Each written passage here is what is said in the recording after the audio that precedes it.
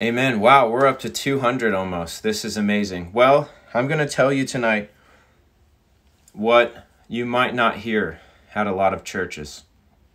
The message that you need to hear at church. You know, I preached something similar to this last night, and it's still on my heart, so we're going to preach something again. I preached on Instagram last night. We're doing it here. This is the message that I have for you.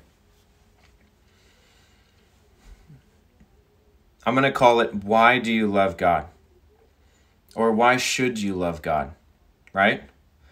Most of us grew up and we know the church. They say, If you were to die tonight, where would you go?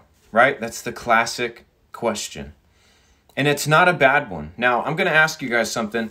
I am not going to answer any questions right now or any comments or anything like that while I'm preaching. It's just like at church. Please don't interrupt the preacher. I have a message for you. Please don't have a bunch of conversations. I'm not going to answer a single question while I'm preaching. I guarantee you that. So just save yourself the time. We're going to pray for the sick after the message, okay? This always happens, but there'll be people who ignore it. That's all right. I just want you to know why I'm ignoring your comments. So the question that gets asked is this If you were to die tonight, where would you go? Would you go to heaven or would you go to hell? And the, the pastor would probably tell you that hell is a place of a lake of fire where there is burning, where there is weeping, where there is gnashing of teeth, right? This is what he would tell you. He would tell you that those who do not put their trust in Jesus Christ, those who do not give their life to Jesus Christ, will burn for eternity in hell. But those who trust in him will go to heaven. And you see, God sent his son Jesus to die on the cross because you're a sinner. You're a wretched sinner. And you need forgiveness. And you need to put your trust in the Lord tonight so that you can go to heaven, so that you can guarantee your name is in the book of life. And if you want to pray that prayer, I want you to raise your hand. You see, this is some of the preaching that I heard growing up. Not all the preaching that I heard, but I did hear some of it. And this is what the church at large in many parts of the country hear. Now, let me ask you this question What about what I just said makes you love God? What about what I just said leads you to follow Jesus Christ, aside from getting death insurance to make sure that you don't go to hell? What did I say? What did I say that provokes you to love? Nothing. Nothing. Now, did I tell you the truth? Yeah, I did.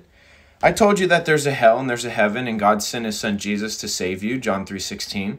Whoever believes in him is never going to die, they're going to have eternal life. Yeah. That might be enough to get you to pray a prayer. I'm sure if you listen to that, you would say, "Okay, I don't want to go to hell. I, I, I want to go to heaven. I don't want to burn forever. Who would? Yeah, I thank you, Jesus. Thanks for dying for me. Sure. You are not going to have any power in your life. There are people, there's someone watching right now. I feel like there's multiple people. There's more than five people watching this. I just feel like I've thought of the number five. I believe it's the Lord. There's more than five people tonight that you got saved because you didn't want to go to hell. If you would be honest, if you would be vulnerable, would you comment, That's me, if you got saved simply because you did not want to go to hell? Would you just say, That's me? If you, you, you don't have to, obviously, but if you feel vulnerable enough and honest, I want to challenge us tonight. I want to I want to prick your heart. I want to cut you a little bit, just like Peter did. Look at here. There's four people, five, six, seven, eight, nine. Look, there's a lot of people. There's a lot of people. Now, listen, you're not condemned. I don't want you to feel condemned, but I want to provoke you to see that you did not receive the full gospel.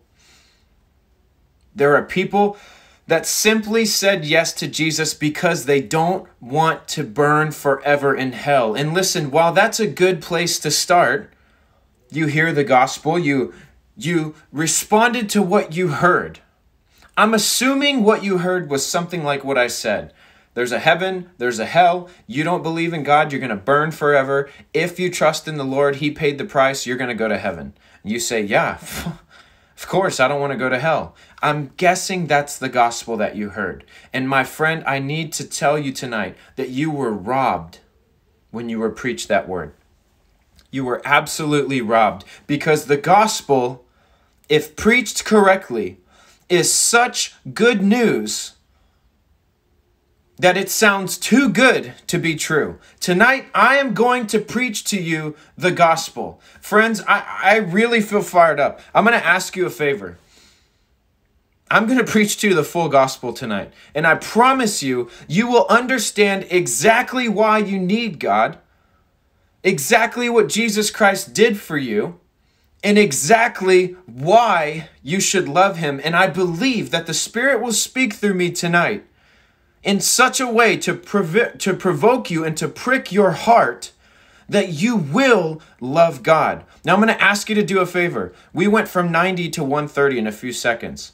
I'm going to ask all 233 of you for the next six seconds, would you please double tap this? I really feel like this message is going to be different than any message I've ever preached. Would you double tap the screen for six seconds so we can get more people online? I want to preach to as many people as possible because they need to hear this message that is going to set them free tonight.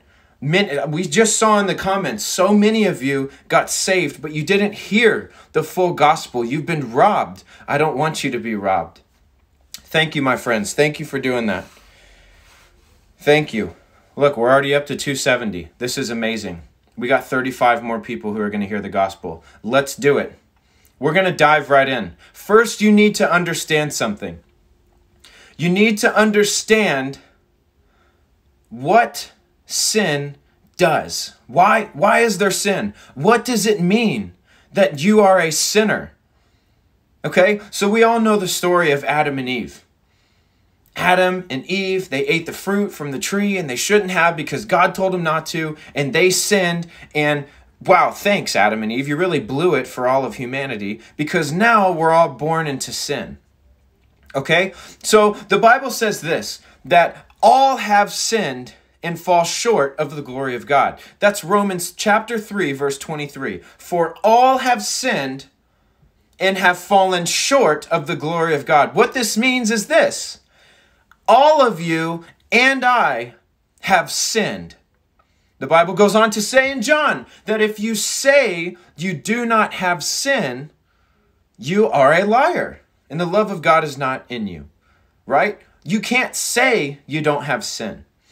You're born into sin. It's in your bloodline. You're born from Adam and Eve's bloodline. Okay? But let's take it a step further. Have you ever told a lie? Have you ever had hatred build up in your heart? Maybe you didn't even say anything, but it built up. Have you ever looked upon the opposite sex with lust or even the same sex, which is a sin in itself? You see, Jesus sees the heart. In the Old Testament, they had 613 laws and 10 commandments to keep. And the Pharisees did a great job of keeping this outward appearance, right? I'm not committing adultery. I'm not murdering. I'm not stealing. I'm not coveting. I'm a pretty good person. That was a Pharisee. And Jesus came and he said this No, actually, if you even look at a woman with lust, you've committed adultery in your heart. If you have hate towards your brother, you've murdered him in your heart. You see, Jesus sees the heart. And so I say all this to say, you have sinned. You've sinned. Now, sin has a price. Sin demands a payment. The Bible says this in Romans chapter 6, verse 23 The wages of sin is death the wages of sin is death. Wages are something that you earn, right? I have a job. When I go to work, I put the hours in, and on payday, I receive my wages for my work. For what I have done, I get a wage, right? The Bible says that the wages of your sin is death. You deserve death because of your sin tonight. You deserve death. I deserve death. Now, what is death? Everyone thinks death is just dying on the earth, right? Well, it's not because John 3:16 says this that if you believe in Jesus Christ, you'll never perish. Another translation says you'll never die. So we continue living, we just move on from earth to be with Jesus Christ. But the Bible does say in Hebrew that it's appointed for a man to die but once. So everyone on this live, all 248 of us, including myself, within 90 years, pretty much all of us are going to be dead unless one of you breaks a world record. We're all going to be dead. And something is going to happen when we die. Our sin is going to demand a payment. This is what the Bible says. Romans 6:23 will come to pass when you die. When you stand before the throne of God, there will be a payment for your sin. And so we have two options here. The first option is this. You can pay for your sin on your own. You can pay for your sin. You can say, listen, I don't need God. I don't need all of this, whatever this guy's talking about, this PNW evangelist, whatever that is, guy, wearing this Jesus is King hoodie. I don't need that. I don't need this. That's stupid. God's stupid. Jesus is stupid. I don't believe in him. This is what people say. You should see some of my DMs. You've seen some of the comments. So you say, I don't need God, or I don't believe in God, or you say, God's not real.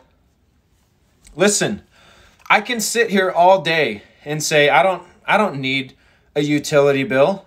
I don't believe in utility bills. I'm just going to run my power as long as I want to. I'm not paying for crap. I'll tell you what, my friend, there will come a day when my utility bill demands a payment. And there will be a consequence if I do not make that payment. How many of you know that after a certain amount of time, my power will shut off? There will be a consequence for my payment. I don't have to believe in it. It doesn't matter. It doesn't change the fact that it's still true. My friends, I'm here to tell you tonight that the Word of God is infallible. It means that there are no errors. It is perfect. It is absolutely true. Tonight, your sin demands a payment. Colossians 1:21 says this that you because of your sin, because of the wicked works of your mind, you are an enemy of God. Now, how many of us here want to be enemies of God? The God of the universe, the God who spoke existence into being with his mouth. The God who literally put the stars in the sky, separated day from night, separated land from water, things that we couldn't even fathom being able to do, let alone do them. This is God. And tonight, I'm here to tell you that if you are not born again, if you are not saved by the blood of Jesus Christ, tonight, you are an enemy of God. Now, I don't tell you this to scare you, my friend. There is much more to this message, but I need to tell you the truth. Your sin makes you an enemy to God. You see, God is perfect, God is holy, God is righteous. That means that where He is, imperfection can't exist. He's God. Where He is, sin does not exist, pain does not exist, suffering does not exist. And so to come into the presence of God, it demands perfection. Now, don't twist my words, don't get ahead of me here and say, well, how in the world could I ever be perfect? Are you saying I got to be perfect to come to God? No, I'm not. The funny thing is, you could never do it on your own. That's the entire point. You could never come to God on your own. The Bible says that you can't even come to the Lord unless He calls you. My friend, He's calling you tonight. Listen to the words I say tonight. I promise you, I will preach you the truth, and God will call you unto himself. And so we say, well, we can't get to God on our own. There's people that think there's many ways to heaven. We're all going to go to heaven. These are some theories that are out there. My friend, there is one way to heaven. It is through Jesus Christ alone. Jesus Christ came, and the Bible says that he is a stumbling block of offense. Now, what does that mean? Jesus Christ, a stumbling block of offense. It means that Jesus is offensive to those who are prideful, analytical, those who are too smart for this Christian bullcrap. That's what they say. They say that's ridiculous. Anyone can go to heaven. We're all going to go to heaven. This is hell, brother. We're all going to make it. God's a loving God. He'll bring us all in. I, I talk to God all the time. I don't need Jesus. False. The Bible says, Jesus Christ said, I am the way. I'm the way to God. I am the truth and I am the life. No one comes to the Father except through me. Now, that is offensive if you think in your own mind, in your own human wisdom, which the Bible says earthly wisdom is sensual and demonic. That means that it is based off of feelings and emotions, it's demonic. And so you think you can get to God on your own, and Jesus says, absolutely not. But he doesn't just leave us hanging there. You see, sin demands a payment. Sin has cut you off from God. Colossians 1:21, you are an enemy of God because of your sin, because of the wicked works of your mind. It says that you are alienated from God. If you are not born again tonight, you are alienated. You are cut off from God. You are a foreigner, you're an outsider. You are exiled. This is what it means. But Jesus Christ has reconciled you to a holy God. So we're starting to get into the beginning of the gospel. You understand now that you have sinned against a holy God. You might say, "Well, I'm a pretty good person." You know, I, I don't really do anything bad. I don't I don't sleep around, I don't drink, I don't smoke. You know, I try to give to the poor. The Bible says that the taking in the orphans and caring for widows is true religion. I do that. My friend, the Bible also says this that your good works are like filthy rags before the Lord. What do you do with a filthy rag? You toss it out. It's worthless. You're not going to clean anything with a filthy rag. A filthy rag's not going to get you anything. My friend, your good works in and of themselves, apart from Jesus Christ, are not going to get you anything. You can't do it on your own. Ephesians 2 8 through 9 says that you're not saved by your works.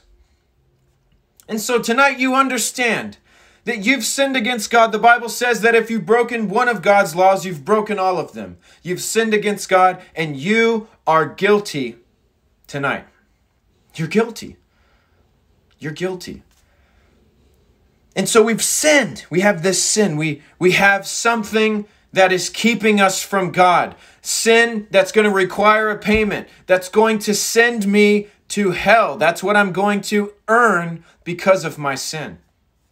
And so Colossians 1:21 says this, while you were a sinner, while you were alienated from God, you were an enemy of God, Jesus Christ through his sacrifice has reconciled you. Now let's break that down. Jesus Christ is the son of God. He's God's only son. That's what John 3:16 says, the only son of God. Now reconciled means to make right, Think if you argue with your siblings or your parents and you have this tension between you and you apologize to each other and you forgive each other and you reconcile, right? You make right what was wrong. So something was wrong. We were enemies of God and Jesus Christ, God's only begotten Son, made us right with God. Do you want to know how Jesus made us right? Do you want to know how Jesus took someone who was God's enemy and made them right, made you right. He came to earth, lived a perfect life, fulfilled every law. He never sinned. and he chose to go to the cross. Now, why on earth would Jesus choose the cross? Why would he choose to be tortured and brutally murdered on a cross?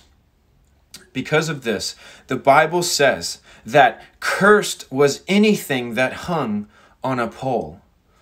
And so the Bible says that Jesus became our sin and he hung on that pole. The Bible says he became sin who knew no sin. Jesus was perfect, but for a moment, when he hung on that cross, when he chose to die for you, he died for you and he died for me. When he chose to do that, he became sin. He became our sin. Think about that. All of the sin that you've ever committed, that's enough to probably wipe someone out from shame and guilt and condemnation. They'd probably feel terrible if they were to wear all of your sin. Now imagine all of the sin for all of humanity that was and is and is to come. Every person's sin that they have ever done, are doing, or will do. He became that very sin. Because when he did, sin was cursed in the flesh. And Jesus Christ died with our sin. Now, he didn't stay dead. God raised him up again on the third day. Jesus Christ resurrected. He ascended from hell, defeating sin and death in the flesh. And he came back to his disciples, to the men that followed him for three years or so. He came back to them and he said, Listen, I've given you all the authority that you need. Go out and preach the gospel. Go heal the sick like I did. Go raise the dead. Go cast out demons. Go do the greater works.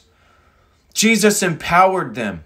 And how did he empower them? He gave them the Holy Spirit. The Holy Spirit is God's Spirit, it's the Spirit of God in us. Jesus Christ walked with that spirit. That's how he healed the sick. He raised the dead. He cleansed the, le- the lepers. If you go look up leprosy, it's pretty freaking disgusting. He wasn't wearing a mask and gloves, he wasn't social distancing. He cleansed the lepers. He was full of faith and he had the kingdom to give them. He wasn't in fear. Jesus was amazing, and he still is because he's alive. And the same spirit that rose Jesus from the dead, he gave to us. And we're going to touch on that in a minute. So let's let's back up here. We have sin. We're enemies of God. We're cut off from God. No chance of ever saving ourselves. Jesus comes. The Bible says that for God God so loved us that while we were still sinners, Christ died for us. The Bible says in Hebrews chapter 12 that Jesus, because of the joy that was set before him, chose to endure the cross. My friend, tonight you need to know that you are the joy that was before Jesus Christ. You were his motivation. He saw you. The Bible says in Psalm 139 that he saw your unformed body. All of your days are written in his book. He knows a word before it's on your tongue. He knitted you together in your mother's womb. You see, Jesus knows you better than you know yourself. The hairs on your head are numbered. He knows everything. And while you were a sinner, even on your worst day, even when you mocked him, even when you spit in his face with your words and with your life, denying him, living for yourself, living prideful, living lustful, living sensually, he said, No, I know this person. I know the potential of their life with my life inside of them. I know their created value, their created purpose, their design. And if they submit to me, if they give me their life, I will make them a brand new creation. I will put my spirit inside of them and make them someone that can step on the head of the devil every day of their life. They're going to know God like I knew God, and they're going to be with me in heaven forever. You see, this is the gospel. That Jesus Christ came while you were a sinner, dead in your sin, didn't give a crap about God, and He said, I love you. I'm going to lay my life down for you because there will be a day when you hear a message preached and you understand the great love I have for you and you decide that you would rather pursue me than pursue the things of the world because sin leads to death and death leads to eternal separation from God. Some of you tonight love your sin. You're comfortable in your sin. You're, you're not convicted. You're not struggling with your sin. You enjoy it. You make provision for it. You plan on sinning. It's what you think about. It consumes you. You're a slave. The Bible says that if you're born again, you're no longer a slave to sin. You've been set free that we are slaves to righteousness if we're born again. Well, guess what? If you are not born again, that means that you are a slave to sin and you obey your master. And do you know who the master is of sin? It's Satan. And you can't serve two masters. A house divided against itself will not stand. You serve the devil. You don't want to serve the devil. He doesn't love you. He's leading you to hell. He's leading you to death. He wants to keep you from eternal life. He wants to keep you from understanding who you were created to be. He wants you to think that He's not real, God's not real, none of this matters. I'm here to tell you today that it's all very real and it really does matter. Your sin will lead you to death. I've told you. Now you're accountable. You can continue in your sin, but know that it will lead to death, and you will have to pay for that sin when you die. My friend, why would you do such a thing when Jesus Christ came and he poured out his own blood for you so that you would not ever have to pay for your sin? you see, Jesus doesn't just come and forgive your sin. You know, in the Old Testament, they had the power to forgive sin too, but that's about all they could do. You see, they had a day of atonement and once a year, the high priest would go in and he'd do this little ritual that God told him to do, and he'd do these sacrifices. And if he did them right, the sins of the people and himself were forgiven. They weren't cleansed, they weren't clean, they weren't removed, they were just forgiven. They were still remembered, they were just forgiven. Now, if the high priest did something wrong, he died like dead. He had to do this ritual and this sacrifice just right, or he would drop dead because the presence of God is so holy. You see, this is what happens when imperfection comes into the presence of God. Things die. And so they would tie a rope around this guy in case he did something wrong so they could pull him out and try to send someone else in who wouldn't mess it up. God demands perfection. Jesus Christ is our perfection. The Bible says this He became sin who knew no sin, that we might become the righteousness of God. You see, I'm mad tonight at those of you who had to hear a gospel message that didn't include anything about transformation, it only talked about heaven and hell. Heaven and hell is a fine place to start, but there better be more to that message. Jesus Christ didn't just come to save you from hell. The Bible says he came to restore, to redeem, to save that which was lost. Do you know what was lost? Heaven wasn't lost. We were lost. But do you know what was really lost? Our relationship with God. Back in the days of Adam and Eve, you say, well, how could they have sinned? They walked with God in the garden. They communed with him, they fellowshiped with him, and they still sinned. Why? Because they began to think for themselves and they listened to the voice of the enemy, and it led to their death. God was merciful, but they ended up dying. They would have lived forever in the garden. Jesus came and he had the same choice. You see, the devil provided Jesus with plenty of opportunities to live out of his flesh. He, he tempted Jesus even while he was fasting out in the wilderness. He tempted him. The Bible says that Jesus sympathizes with our weakness because he came as a man and he was tempted at all points. Jesus was tempted in every way that you could be tempted, but without fault. Jesus never sinned. But he paid for our sin. He became our sin. Even though he never sinned, he took our sin on and he died. And his blood forgave and cleansed all of our sin. You see, it's not just forgiveness, it's forgetness. Some of you tonight have sinned a lot. You've sinned so much that you don't understand how God could forgive you. You don't understand how God could love you because you see your life and it's so messed up, and you think about the things you've done, and you can hardly live with yourself. And you say, okay, well, even if I do get saved, how am I going to go on? I've done some terrible things. Guess what? It gets better. The gospel is not done yet. It's not just forgiveness. Jesus isn't just going to say, hey, I forgive you. I forgive you. The Bible says that he remembers your sin no more. He forgets your sin. It's forgiveness and forgetness. He throws your sins, your past, into the sea of forgetfulness. The Bible says that your sins are as far as the east is from the west. If you start going north, at some point you're going to come back down and be going south. But if you start going east or west, you will always go east and west. And your sins are as far as the east is from the west. That means that they can never come back together.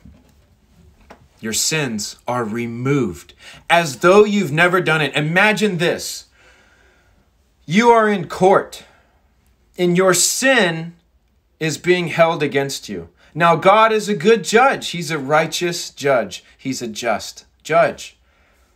If you were judged according to his commands, you would be guilty. And there's nothing you could say about it. You're dead to rights. You're guilty. But Jesus advocates for you. The Bible says that he intercedes for you on your behalf every day to God. Intercedes means he's praying for you, right? He's speaking for you. And so Jesus comes and he says, God, Father, don't look at them. Don't look at what they've done. Look at what I've done. The Bible says that there is a mercy seat, and the blood of Jesus is sprinkled on that mercy seat as an offering. Why did it take blood? The Bible says this without the shedding of blood, there is no remission of sins. There's no cleansing of sins. There's no removal of sins. There had to be bloodshed. Jesus was that perfect lamb that was sacrificed. He was the perfect, the final sacrifice. And so you're in court and you're guilty. There's no way around it. And Jesus comes and he says, No, look at what I've done. And God accepts Jesus' sacrifice because it is perfect, it is holy, it is righteous, it fulfills the law, it pays the demand for your sin because your sin still requires a payment. Only now you're off the hook. All charges against you have been dropped. You don't even have a criminal history. You don't have a rap sheet. You don't have a record. Jesus didn't just drop the charges, he ripped up all of your documents, all of your files. There's no history that you were ever in trouble in the first place. When they look at you, it's like you've never even been stopped. Why? because Jesus' blood paid for your sin. And so tonight, you have two options. You can pay for your sin on your own. You can listen to everything that I've said. You can deny it completely, reject it, just like they rejected Jesus in the flesh, and you will pay for your sin when you die. Or you can humble yourself and you can say, God, thank you that you really sent Jesus. I believe in what this evangelist is saying. I believe that Jesus came because he loves me. You sent him, God, because you love me and you wanted me. You saw my value, you saw my potential, and you, Jesus, paid the price for my sin. I am going to accept your payment and I'm going to ask you to forgive my sin. You see, you can have Jesus pay the price for your sin, but it's only good if you apply his blood to your life, if you apply his sacrifice. You can't just know about it. You can't just hear about it and it's in effect. It would be like if I sent you this hoodie. I just got this hoodie. I love it. It's really cool. And it would be like if I sent you this hoodie and you get it in the mail and you're like, wow, PNW evangelist Shane Winnings, he sent me his hoodie. He sent me this hoodie. This is so cool. Thank you. And then you put it in your closet. What effect does that have? What good is this hoodie for you when you go outside and it's cold? Nothing. It has no effect. Why? Because you haven't put it on. The Bible says to put on the Lord Jesus Christ. Put on the Lord Jesus Christ. Apply the Lord Jesus Christ to your life.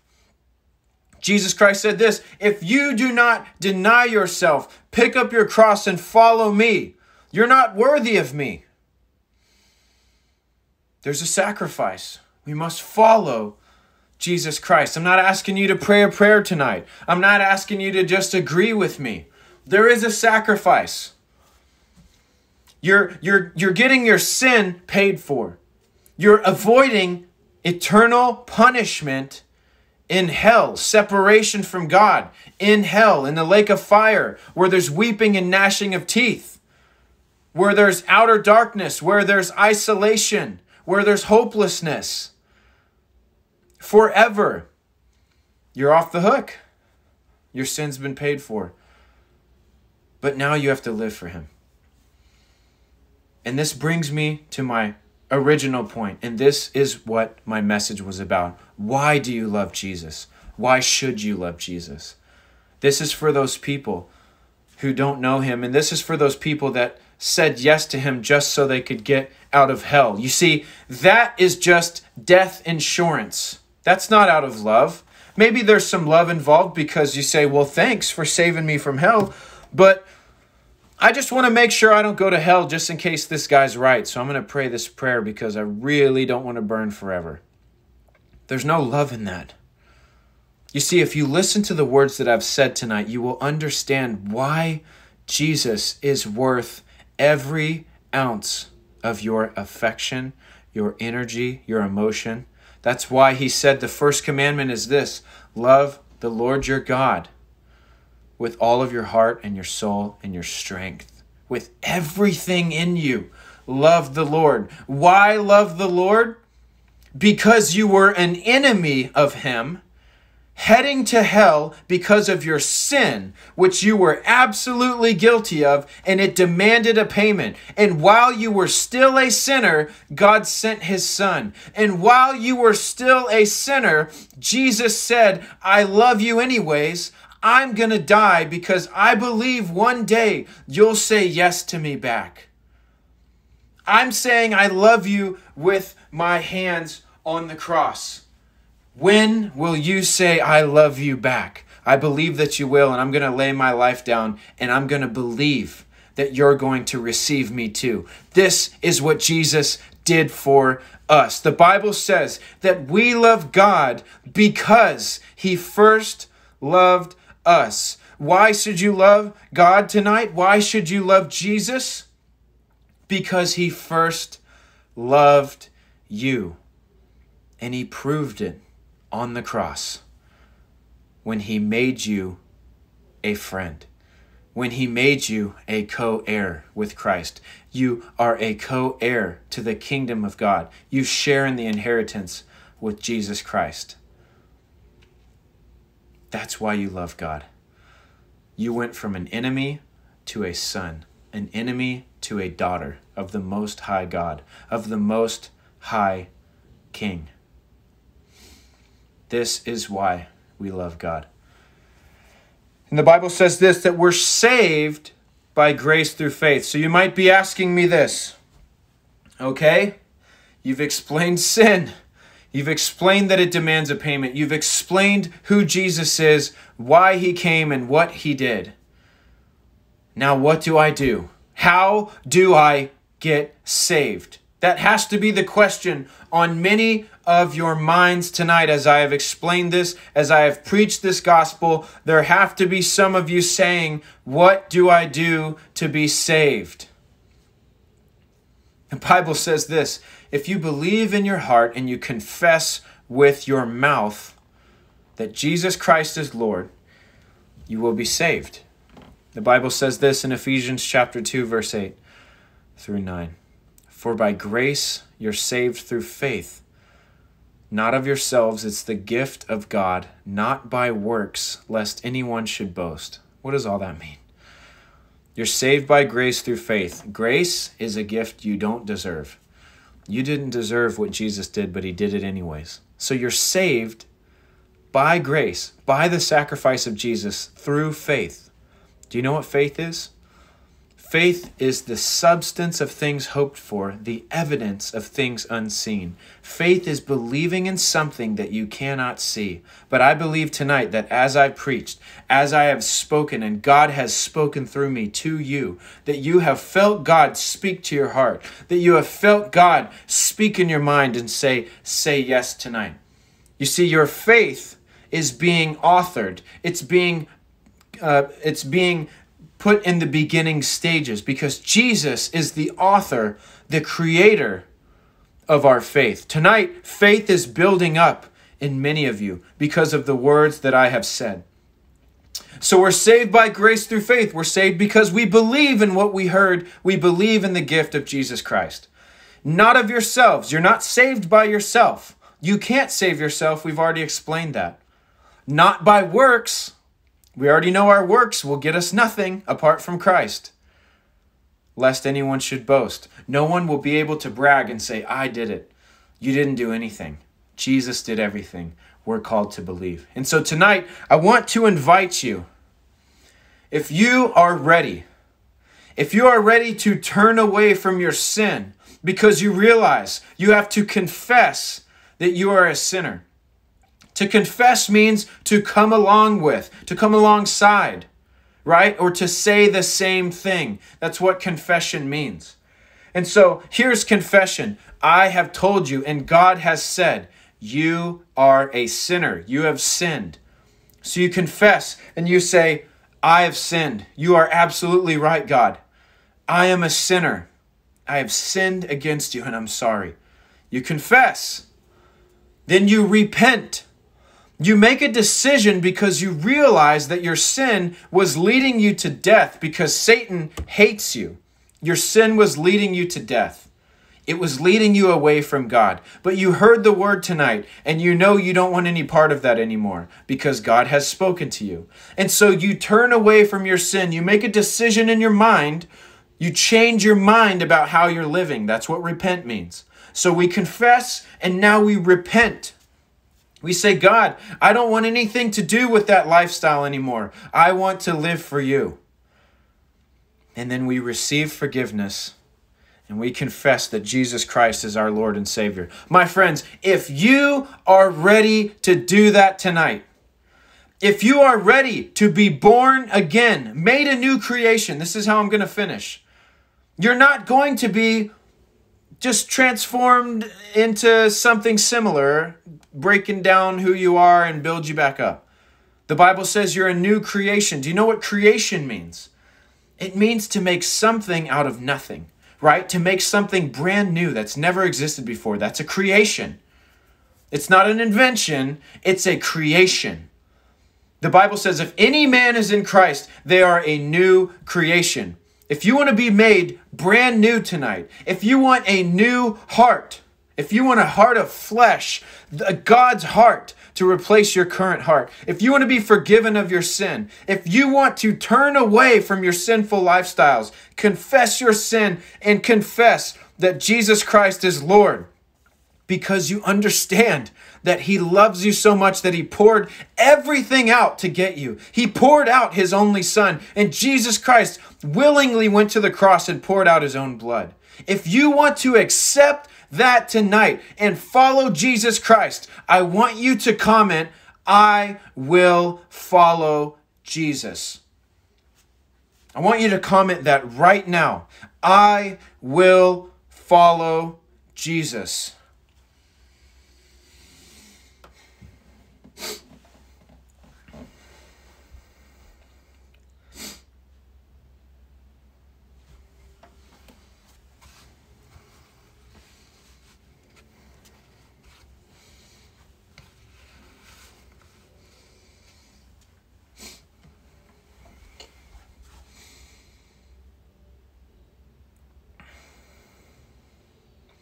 Thank you, Lord.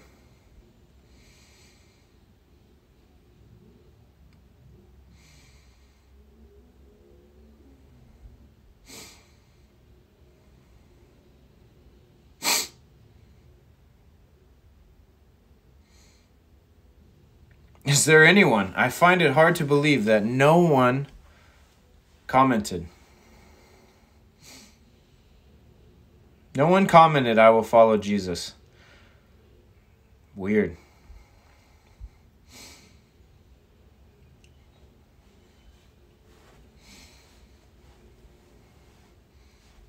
You guys did? I didn't I haven't seen any of it. Wow, look at this. I did I have not seen any of these comments. I don't know what happened. Look at that. Okay, praise God. For on my end I didn't see any comments, so I was like, uh what in the world is going on? Praise God. There's so many of you. Okay, here's what we're going to do. This is super important. I'm going to lead you in a prayer. We're going to put some words to how you're feeling right now, okay? But I need you to do something for me. I've teamed up with the Jesus Clubs, and they have this amazing resource. You're going to be a new Christian, right? You don't know anything about being a Christian. You need some help, you need some guidance, a little bit of discipling. Well, there are pastors that are standing by that are ready to guide you through these next steps. And I've teamed up with the Jesus Clubs, and we have that ability to provide you with those resources. But they're only good if you take advantage of them. Now, last week we had 150 people say yes to Jesus, only 30 texted in. Now, I don't know your heart, but it makes me wonder did only 30 people want to take the next step? Was it genuine? Because if I'm all in for Jesus, then I need to know what it means to be a Christian. I need to know what it means to follow him. How do I follow Jesus Christ? You need help. My friends, if you said yes to Jesus tonight, if you're giving your life to Jesus tonight, please text saved to 626 313 4306. Just text them really quick. And after the live, you can, uh, there's going to be something for you to fill out, and they're going to get you connected with someone who's going to help you. They're amazing. Okay? So please text that word. I believe that many people, over a 100 people, said yes to Jesus tonight. How many will text in? How many will take advantage of this? Or will you let the gospel go in one ear and out the other. You'll wake up tomorrow or next week and you'll be right back to where you started. Or are you serious? Do you want to really follow Jesus? He's not asking for a lukewarm Christian. He's not asking for just your verbal yes, but not with your life. He said, Follow me. You need some help doing that. I promise you. If you text this number, you're going to get some help, some resources. Amen. Okay, we're going to pray right now. Here's what I want to do I'm going to leave this up while we pray. I want you to put your hands out like this. If you said yes to Jesus tonight, we're going to pray. We're going to talk to God right now. Okay? So put your hands out like you're going to receive a gift, and I'm going to pray. I want you to repeat after me, but don't just repeat it. I want you to listen to what I'm saying, and then I want you to say it to God. And at the end of the prayer, we're going to ask God to speak to you. And whatever the first thing that comes to your mind is, I want you to comment it below so that we can all share in the testimony. God's going to speak to you tonight. And what happens is God puts his spirit inside of you. And so when he speaks, it can sound like your own thought, only it's directed at you. It's awesome. God will speak to you. Okay? Let's pray right now. Just stick your hands out and let's pray. Say this after me. Say, God, thank you that you love me. Thank you for sending your only Son to die for me. Jesus, I believe in you. I believe that you died for my sins and that you rose again on the third day. I confess that I have sinned. And I ask you to forgive me. Forgive me of all of my sin, God. Cleanse me of all unrighteousness. Be my Lord and my Savior. God, I ask you to give me your Holy Spirit. Holy Spirit, come into my life. I invite you in right now. Fill me. Lead me and guide me. All the days of my life, I will follow you. God, speak to me now. In Jesus' name, amen. All right, just listen for him.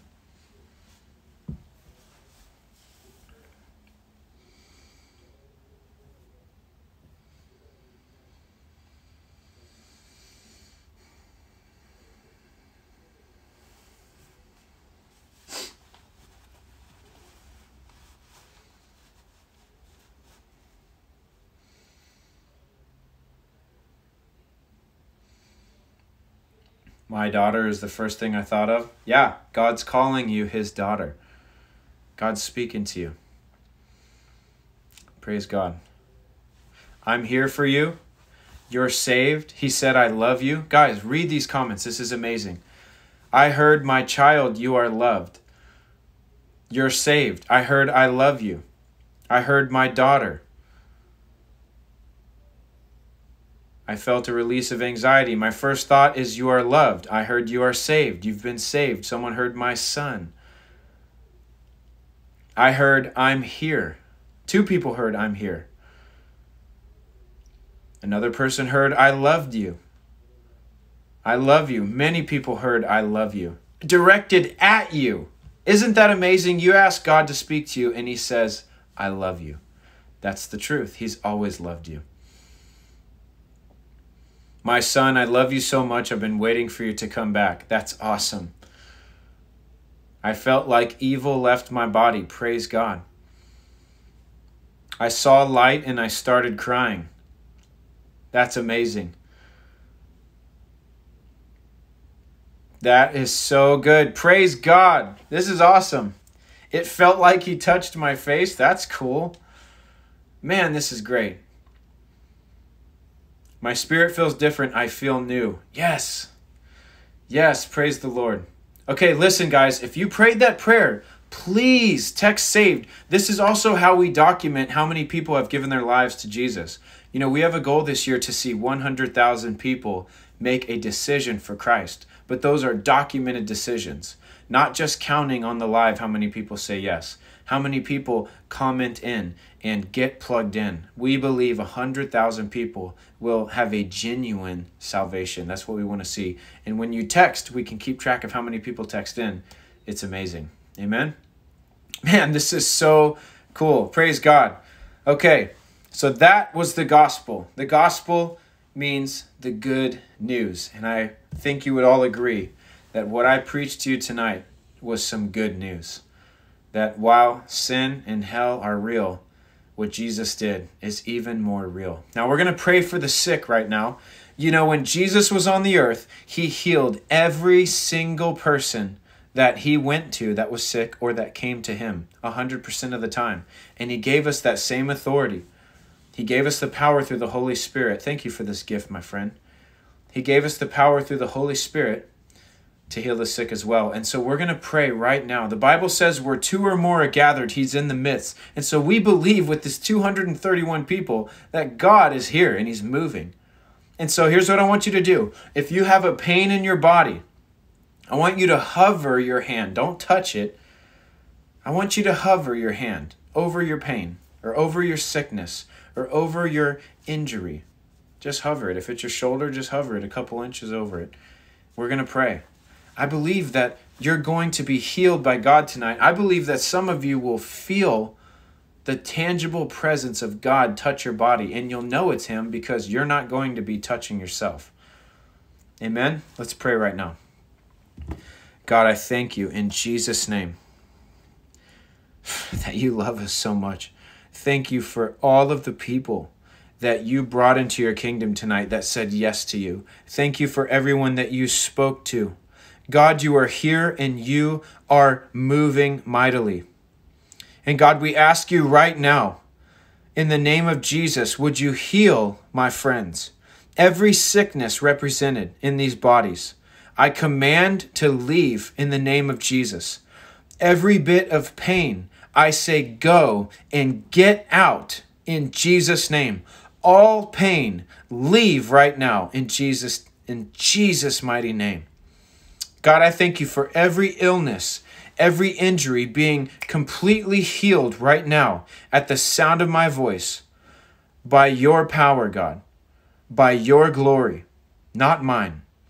In Jesus' name, amen. Amen. Okay, test it out. Test your bodies out. Wherever there was pain, see if it's still there. Whatever was injured, see if it's still injured. And le- let me know in the comments below.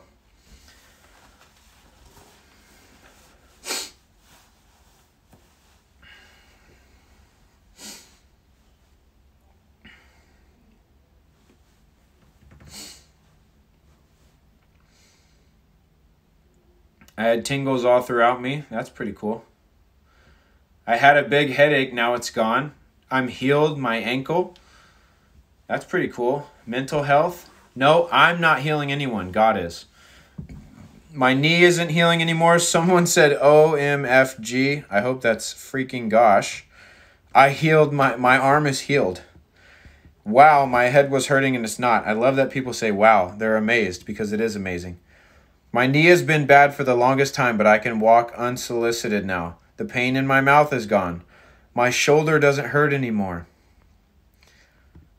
This is awesome. God is touching people. Yeah, autoimmune disorders leave in Jesus' name. Leave in Jesus' name.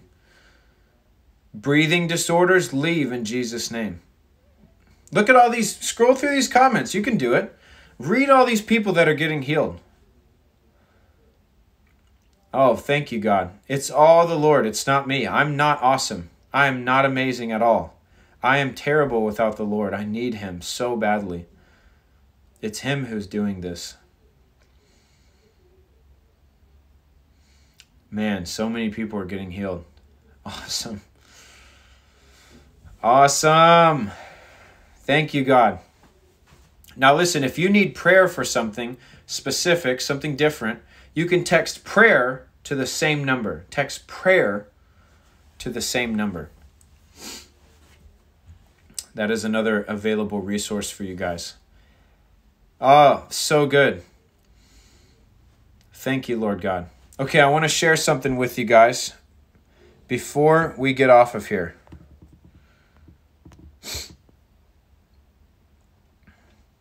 Man, a lot of people just with no faith on here tonight. Makes me sad. I'm going to share something. I'm looking for a picture to add. See if I still have it.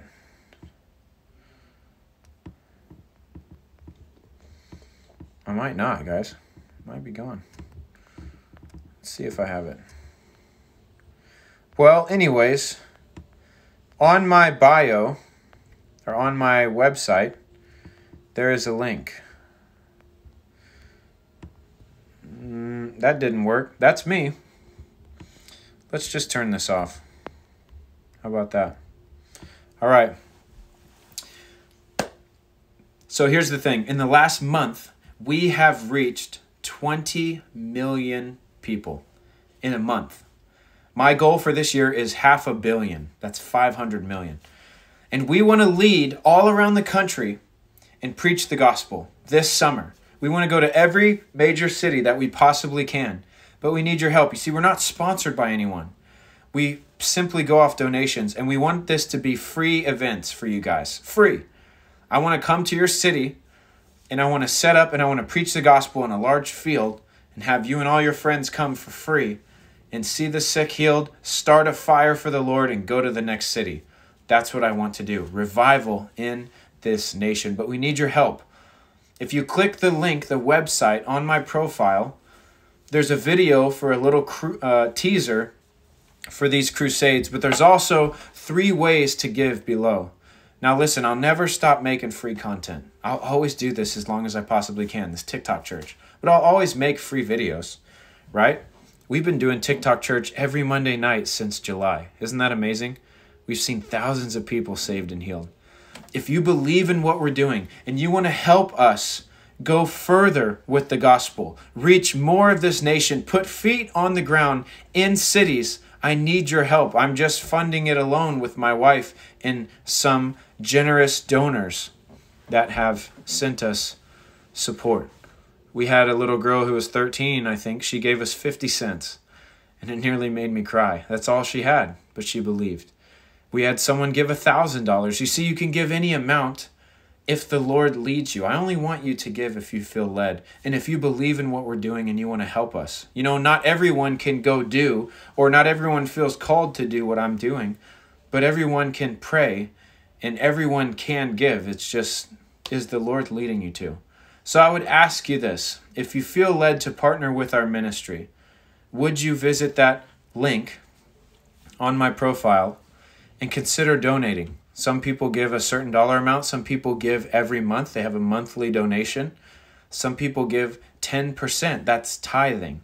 That's what they did in the Bible 10% of your income to a ministry. I'll let the Lord lead and guide you for how much, if to give at all. But I wanted to make that available to you because we're not going to be able to do it if we don't receive support. And I love you guys, and I wanted to extend that invitation Thank you so much for coming tonight. Someone says, What ministry is this you're asking money for? It's the ministry. Oh, thank you. Gloria just sent us $20. Thank you, Gloria. Well, I just told you, but I could tell you again. We're going to travel the entire country as far as the money will take us to every major city. We're going to set up and we're going to preach the gospel, and you can come free of charge and listen and hear the gospel. You can invite your friends that aren't saved to hear a message like you heard tonight, a message that pricks the heart and provokes someone to give their lives to Christ, to change their lives forever. Bring the sick and have them healed in Jesus' name. It's not free to fly everywhere. It's not free to have a hotel. It's not free to have a rental car. It's not free to have equipment, but it will be free to you. And I will come to your city if we get the money. We're going to go everywhere we possibly can. Every dollar goes towards that. It's not paying my bills, it's not buying me a car. It's putting on gospel crusades all over the country. If you believe in that, would you consider donating to our ministry? That is what we're doing. Someone says, Come to Norway. I would love to come to Norway one day. Someone says Jesus is free. He absolutely is. I'm guessing that you did not pay to join this live, where I just preached the gospel to thousands of people.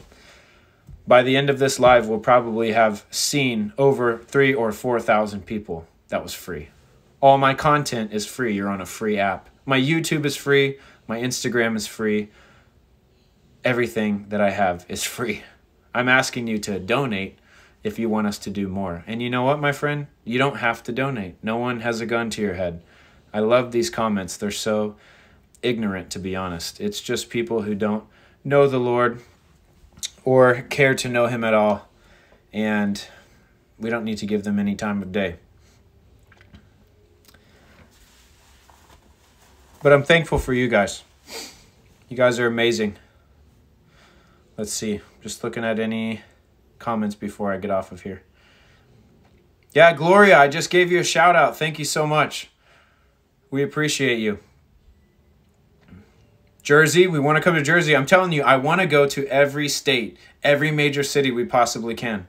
We're going to do it. We're going to go as far as we can until we run out of money. Then we're going to try to raise some more. Then we're going to go somewhere, somewhere else until we cover the whole country. My family lives in Florida, so we want to make it all the way over there. I mean, I want to do the whole East Coast as well. Um, someone's asking where to give. The link on my bio, my friend. Click the website on my TikTok profile. Venmo, Cash App, or PayPal is all available right there. All right. Well, God bless you guys. We're going to sign off for tonight. I will upload this to YouTube this week. I just uploaded last night's Instagram church to my YouTube. Do me a favor, would you? Follow me on TikTok so that you get alerted when we go live. Hit that follow button really quick. Alexandria, thank you. She just donated $5. Thank you so much. Praise God. Hit that follow button so you don't miss out on any new content. Head over to my profile, you click the little square, you can follow my Instagram and my YouTube. I post all of my teaching in full length sermons on my YouTube. And sometimes I go live on YouTube as well. And I go live on Instagram once a week as well for Instagram Church. So there's so much content that I'm putting out for you guys. It's all for you to receive. Wilma just gave $20. Thank you so much, Wilma. God bless you. Thank you, guys. Appreciate you so much. All right, we're going to head out. I'm going to spend some time with my lovely wife. God bless you guys. Good night.